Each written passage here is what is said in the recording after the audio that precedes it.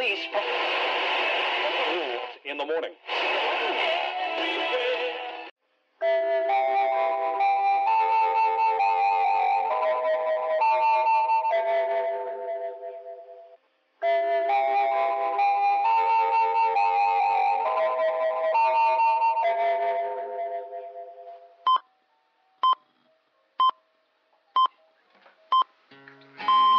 А вы помните страшные истории про ведьм и людоедов, которые рассказывают в темной комнате или ночью у костра?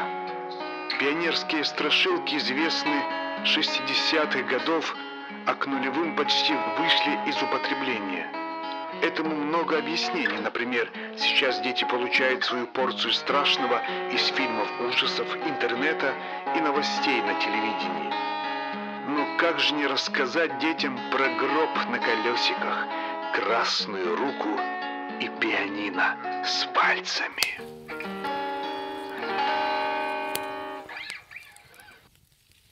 Красное пятно.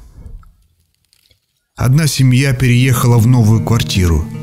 Все было хорошо, только на стене в комнате было красное пятно. Вот легли все спать, вдруг из пятна вылетела рука и задушила папу. На следующую ночь красная рука задушила маму. Дети очень испугались. Они решили не ложиться ночью спать. Но только стемнело, рука показалась из пятна. Она была красная и светилась. Она полетела по комнатам, не нашла детей и вернулась в пятно. Утром дети позвали милиционера. Он пришел и выстрелил в пятно из пистолета. Оно тут же исчезло. Но когда милиционер пришел домой, на стене он увидел красное